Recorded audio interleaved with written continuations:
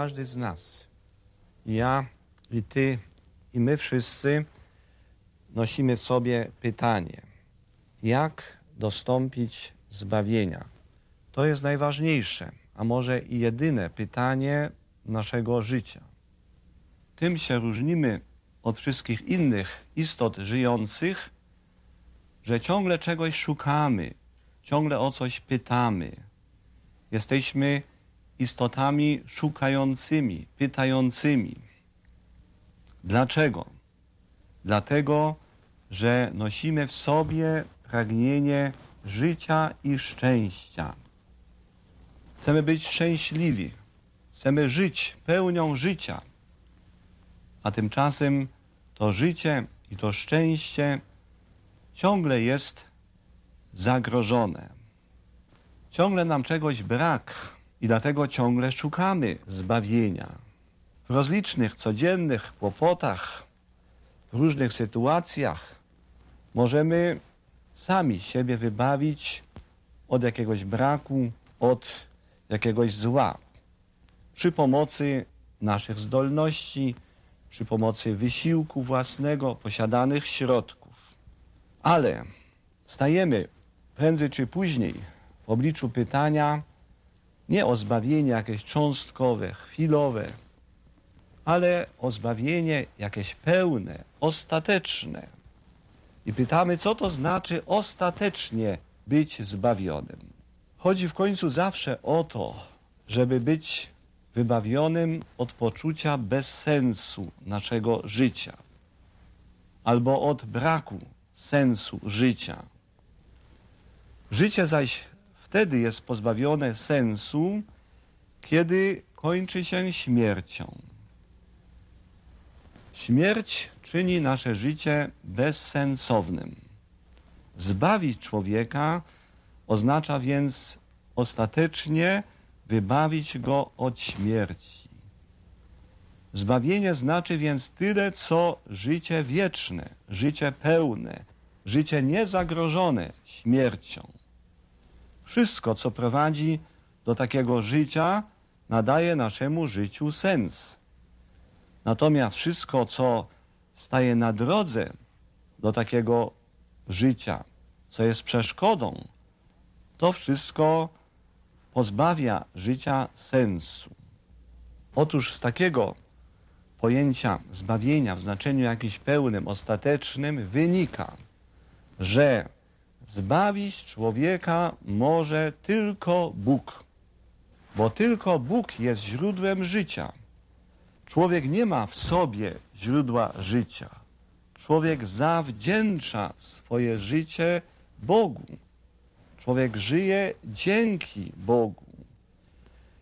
I dlatego tylko Bóg może wybawić człowieka od śmierci i dać mu życie po śmierci, dać mu życie wieczne, czyli zbawienie. Nieszczęście natomiast człowieka jest to, co go oddziela od Boga, źródła życia. To, co oddziela człowieka od Boga, zrywa łączność człowieka z Bogiem, to nazywa się grzechem. Grzech powoduje śmierć, bo odrywa człowieka od Boga, źródła życia. Dlatego zbawienie polega ostatecznie na wybawieniu człowieka od grzechu i śmierci. Tylko Bóg jest więc Zbawicielem w prawdziwym i ostatecznym znaczeniu tego słowa, bo tylko On może wybawić człowieka od grzechu i śmierci. I dlatego tylko On może nam dać poczucie sensu wszystkich wydarzeń oraz pełnię życia, radości i szczęścia. On tylko może dać człowiekowi wypełnienie tych wszystkich dobrych pragnień i dążeń, które w języku wszystkich religii nazywa się niebem. I Bóg rzeczywiście zbawia człowieka. Świadczy o tym Biblia.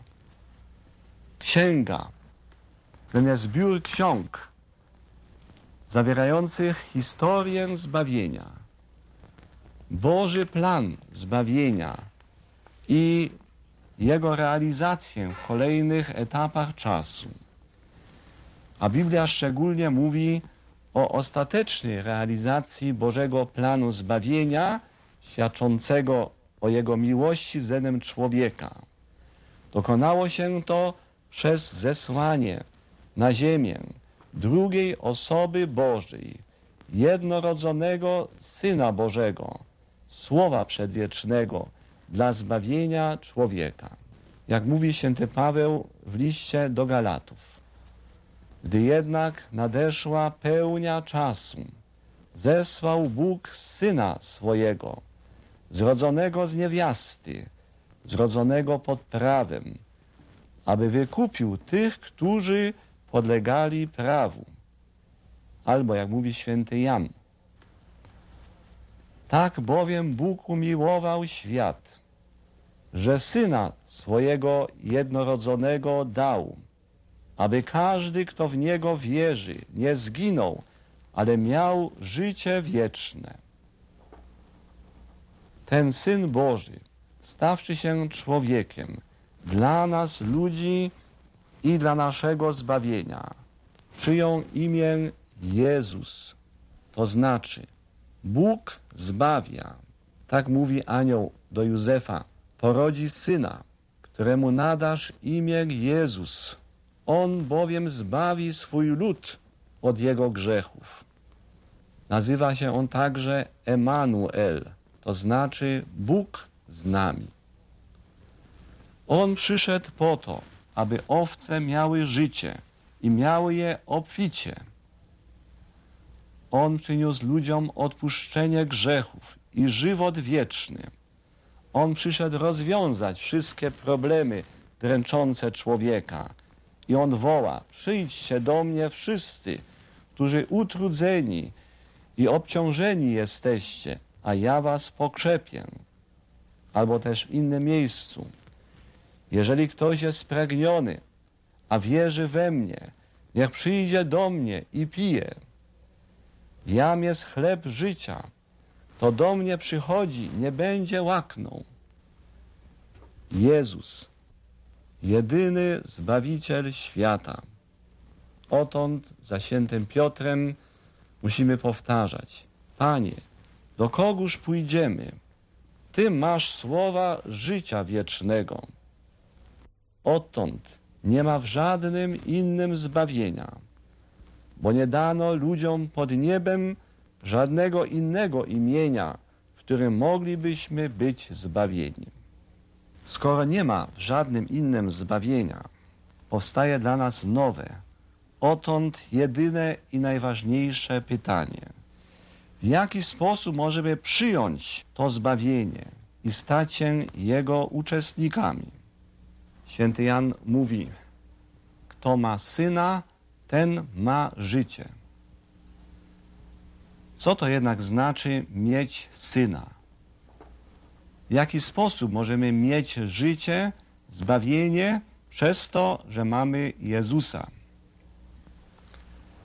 Jest rzeczą oczywistą, że tylko On sam, Jezus, może określić sposób, w jaki możemy Go mieć. On jest bowiem Bogiem. On nie może być przez nas wzięty w posiadanie na sposób rzeczy, przedmiotu, poprzez tylko działania odpowiednie podjęte z naszej strony. On tylko może nam dać siebie, dlatego że On sam chce w sposób wolny. On tylko może określić, w jaki sposób możemy to Jego danie nam siebie przyjąć. Otóż Pismo Święte w sposób jednoznaczny, nie pozostawiający żadnej wątpliwości, wielokrotnie określa, w jaki sposób możemy mieć Jezusa, aby mieć zbawienie i życie. Wielokrotnie sformułowane jest prawo. Kto wierzy, będzie zbawiony. Żydzi w Kafarnaum pytają Jezusa, cóż mamy czynić, abyśmy wykonywali dzieła Boże? Jezus odpowiada, na tym polega dzieło zamierzone przez Boga, abyście uwierzyli w tego, którego On posłał. Wiele razy zapewnia Chrystus uroczyście, zaprawdę, zaprawdę powiadam wam, kto we mnie wierzy, ma życie wieczne. Do Marty, siostry Łazarza, która się skarży, Panie, gdybyś tu był, nie umarłby mój brat, mówi Jezus. Ja jestem zmartwychwstaniem i życiem. Kto we mnie wierzy, chociażby i umarł, żyć będzie. Każdy, kto żyje i wierzy we mnie, nie umrze na wieki. Wierzysz w to. Tym, którzy wierzą, przynosi Chrystus uzdrowienie i odpuszczenie grzechów i życie wieczne. Na podstawie tych wszystkich wypowiedzi może święty Paweł nauczać zdecydowanie w liście do Rzymian. Ale teraz jawną się stała sprawiedliwość Boża niezależna od prawa, poświadczona przez prawo i proroków. Jest to sprawiedliwość Boża przez wiarę w Jezusa Chrystusa dla wszystkich, którzy wierzą, bo nie ma tu różnicy. Wszyscy bowiem zgrzeszyli i pozbawieni są chwały Bożej, a dostępują usprawiedliwienia darmo z Jego łaski przez odkupienie, które jest w Chrystusie Jezusie. Jego to ustanowił Bóg narzędziem przebłagania przez wiarę mocą Jego krwi. Gdzież więc podstawa do chlubienia się została uchylona? Przez jakie prawo? Czy przez prawo uczynków? Nie, przez prawo wiary. Sądzimy bowiem, że człowiek osiąga usprawiedliwienie przez wiarę niezależnie od pełnienia nakazów prawa. Jasno więc dowiadujemy się z Pisma Świętego, że aby dostąpić zbawienia, trzeba uwierzyć w Jezusa, jedynego Zbawiciela. Ale jeszcze musimy dokładniej powiedzieć, w co mamy uwierzyć. W to, że jest On Synem Bożym, który przyszedł na ziemię, aby nas zbawić, aby umrzeć za nasze grzechy na krzyżu, aby zadość uczynić za nasze grzechy, aby dać nam odpuszczenie grzechów i życie wieczne, jako dar, niezasłużony przez nas, wypływający jedynie z miłosierdzia Bożego. Dar będący dla nas absolutną łaską, czymś darmo danym, co musimy tylko przyjąć przez wiarę. A więc właściwym przedmiotem wiary według Ewangelii jest zbawienie jako dzieło dokonane przez Boga w Jezusie Chrystusie, ofiarowane nam jako łaska, którą przyjmujemy wiarą. Jest to sprawa niesłychanie ważna, aby to zrozumieć, bo niestety bardzo rozpowszechnione jest mniemanie, że zbawienie jest tylko pewną szansą daną nam przez Boga, którą możemy wykorzystać. Zbawienie może stać się naszym udziałem, jeżeli spełnimy odpowiednie warunki i zasłużymy sobie na nie. A więc zbawienie zależy od nas, od naszych uczynków. Stajemy tutaj w obliczu trudnego problemu, będącego przedmiotem odwiecznych sporów, rodzącego wiele nieporozumień. Jest to problem wiara, a uczynki. Zbawienie albo usprawiedliwienie przez wiarę czy przez uczynki. Spór ten szczególnie określa stosunek katolików do protestantów. Przyjmuje się ogólnie, że protestanci głoszą zdecydowanie zbawienie przez wiarę, niezależnie od uczynków. Natomiast katolicy głoszą konieczność nie tylko wiary, ale i uczynków do zbawienia. Popularnie nawet się często upraszcza to zagadnienie i mówi się tak. Katolicy przypisują protestantom tezę. Możesz grzeszyć ile chcesz, byle byś wierzył i będziesz zbawiony. Natomiast protestanci zarzucają katolikom, że oni głoszą niezgodnie z Pismem Świętym zbawienie przez uczynki człowieka. Jak rozwiązać ten problem? Co mamy czynić, aby się zbawić? Uwierzyć Chrystusowi i przyjąć zbawienie jako dar, czy też zabrać się gorliwie do pełnienia dobrych uczynków, aby zapewnić sobie zbawienie? Jest to prawdziwy dylemat i z obu rozwiązaniami łączy się pewien lęk. Katolicy boją się, że jeżeli zaakcentujemy to pierwsze rozwiązanie, to wtedy może to doprowadzić do lekceważenia grzechów i zaniechania gorliwości w spełnianiu dobrych uczynków.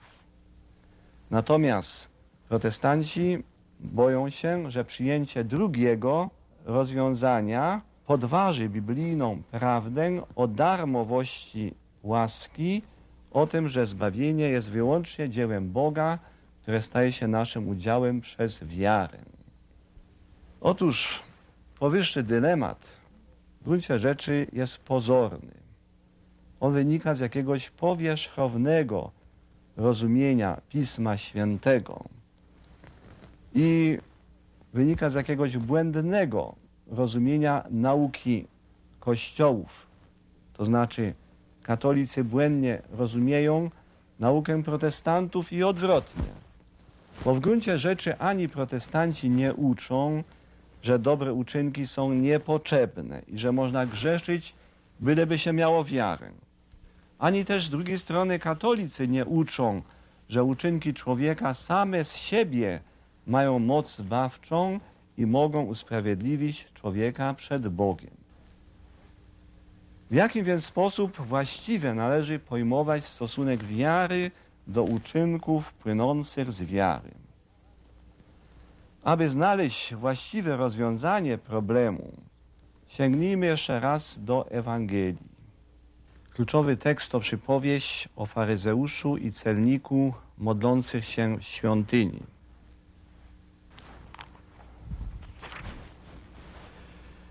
Powiedział też do niektórych, co ufali sobie, że są sprawiedliwi, a innymi gardzili, tę przypowieść. Dwóch ludzi przyszło do świątyni, żeby się modlić. Jeden faryzeusz, a drugi celnik. Faryzeusz stanął i tak w duszy się modlił. Boże, dziękuję Ci, że nie jestem jak inni ludzie, zdziercy, oszuści, cudzołożnicy, albo jaki ten celnik. Zachowuję post dwa razy w tygodniu. Daję dziesięcinę ze wszystkiego, co nabywam.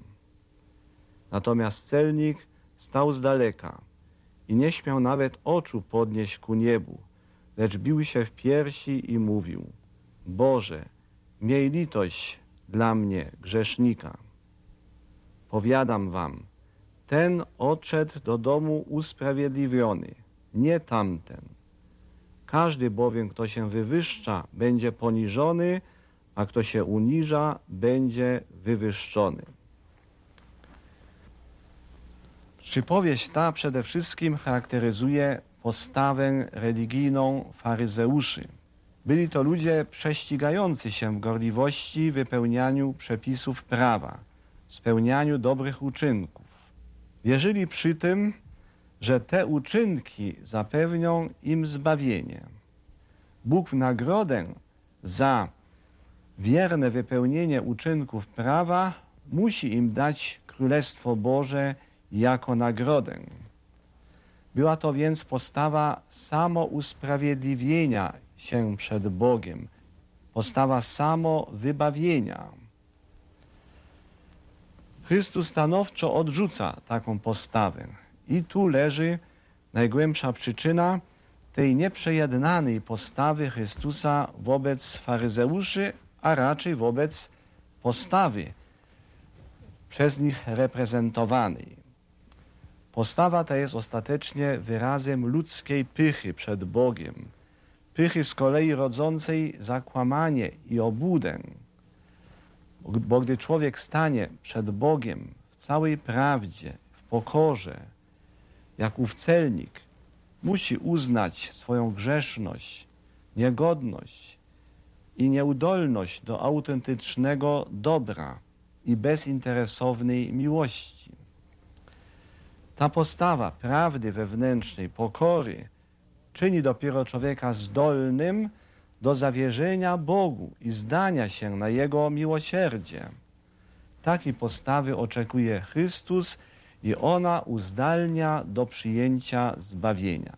Święty Paweł, dawny Szaweł, gorliwy faryzeusz, najlepiej zrozumiał później błędność postawy chlubienia się przed Bogiem z uczynków zakonu i stał się gorliwym głosicielem Ewangelii o zbawieniu przez wiarę Chrystusa, która usprawiedliwia człowieka przed Bogiem. Kościół w swoich dziejach zawsze bronił tej biblijnej nauki o darmowości zbawienia, łaski, o zbawieniu przez wiarę.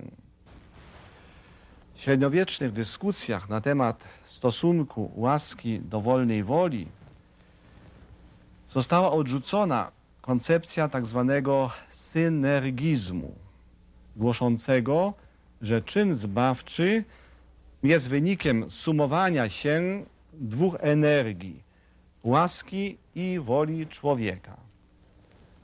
Ilustruje to następujący przykład, który stosowano właśnie w ramach wykładów na ten temat. Mianowicie środkiem rzeki jest holowana łódź przeciw prądowi. Do tej łodzi są przyczepione dwie liny. Za jedną linę ciągnie ktoś na lewym brzegu, za drugą na prawym brzegu. I w wyniku sumowania się tych dwóch energii łódź posuwa się do przodu. Otóż mówiono, na tym polega synergizm. Dwie energie, człowiek i Bóg, obaj ciągną i w wyniku sumowania się e, wysiłku człowieka i łaski Bożej powstaje czyn zbawczy, zbawienie. Otóż ta nauka z punktu widzenia katolickiego jest błędna. Dlatego, że Pismo Święte jasno zaświadcza, że zbawienie jest wyłącznie dziełem łaski Bożej. Beze mnie nic uczynić nie możecie, mówi Chrystus. Dlatego nie możemy sobie wyobrazić zbawienia jako wyniku współdziałania Boga i człowieka, z, y, z których każdy coś wnosi dla zbawienia. Oczywiście, że Bóg działa przez człowieka, ale łaska Boża przenika jak gdyby od wewnątrz człowieka, porusza jego wolę. Wprawdzie człowiek działa, współdziała w sposób wolny, ale musi mieć tę świadomość, że to jego współdziałanie jest dziełem łaski. I ta jego wolność jest również już dziełem łaski Ducha Świętego. Człowiek więc nie może się chlubić przed Bogiem, nie może sobie przypisywać zbawienia, ale wszystko, całą chwałę oddaje Bogu, bo tylko dzięki Jego łasce może człowiek być zbawiony. Otóż jeżeli protestanci tak mocno bronią nauki o darmowości zbawienia przez wiarę, to oczywiście jest to nauka słuszna, biblijna i my katolicy nie możemy głosić innej nauki. Natomiast protestanci nie odrzucają potrzeby dobrych uczynków. Nie odrzucają na przykład tekstu y, z listu świętego Jakuba, apostoła, który mówi w ten sposób.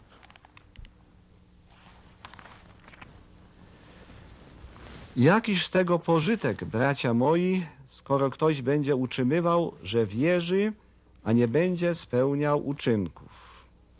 Czy sama wiara zdoła go zbawić? Jeśli na przykład brat lub siostra nie mają odzienia lub brak im codziennego chleba, a ktoś z nas powie im, idźcie w pokoju, ogrzejcie się i najedzcie dosyta, a nie dacie im tego, czego koniecznie potrzebują dla ciała, na co się to przyda? Tak też i wiara, jeśli nie byłaby połączona z uczynkami, martwa jest sama w sobie. Ale może ktoś powiedzieć, ty masz wiarę, a ja spełniam dobre uczynki. Pokaż mi wiarę swoją bez uczynków, a ja ci pokażę wiarę ze swoich uczynków. Wierzysz, że jest Bóg, słusznie czynisz, lecz także i złe duchy wierzą i drżą. Otóż słowa powyższe nie są sprzeczne ze słowami świętego Pawła z listu do Rzymian. Jest prawdą, że tylko wiara w Chrystusa ma moc zbawczą. Wiara natomiast przynosi owoce dobrych uczynków, z których człowiek nie może się chlubić, bo one są dziełem Ducha Świętego w nas. Problem wiara, a uczynki jest problemem bardzo dyskutowanym. Napisano o tym całe tomy. Jest to jednak problem bardziej teoretyczny. Właściwie nie jest to problem dla konkretnego człowieka, który ze swoją wiarą staje w obliczu Chrystusa, który do Niego się modli. Bo wtedy sytuacja nasza jest taka, że wiemy, iż wszystko zawdzięczamy Chrystusowi, a równocześnie wyrażamy swoją gotowość spełniania Jego woli. Nie chcemy Go zasmucać, bo Go miłujemy. I dlatego spełniamy dobre uczynki. A jak nam się nie uda, jak upadniemy ze słabości, nie rozpaczamy, bo wiemy, że Chrystus jest gotów nam znów przebaczyć i możemy wrócić do Niego i zacząć od nowa, opierając się na Jego miłosierdziu i na Jego łasce. I my chcemy teraz na zakończenie tego rozważania stanąć z naszymi problemami przed Chrystusem, żywym naszym Panem i Zbawicielem. Wiemy, że tylko w Nim jest zbawienie i dlatego zapraszamy Go w sposób bezpośredni, osobisty, żeby wszedł w nasze życie i stał się naszym Panem i Zbawicielem. Módlmy się więc razem do Niego. Panie Jezu, wierzę w Ciebie. Wierzę, że mnie widzisz i słyszysz, bo mnie miłujesz. Staję przed Tobą ze wszystkimi moimi problemami, z moimi grzechami, z moją słabością, z moją chorobą duszy, z cierpieniami ciała. Wszystko Tobie oddaję. Czynię to z ufnością, bo powiedziałeś, niezdrowi potrzebują lekarza, ale chorzy i źle się mający. Nie przyszedłem powoływać sprawiedliwych, ale grzeszników. Przyjmij mnie i zbaw mnie od grzechu i od śmierci. Ty tylko masz moc zbawienia mnie. Chcę, abyś był moim Panem. Chcę Ci służyć z radością, ale jestem słaby i znów mogę upaść, stać się niewierny. Ale wtedy chcę wrócić do Ciebie czym prędzej, bo wiem, że mi przebaczysz i pozwolisz zacząć od nowa.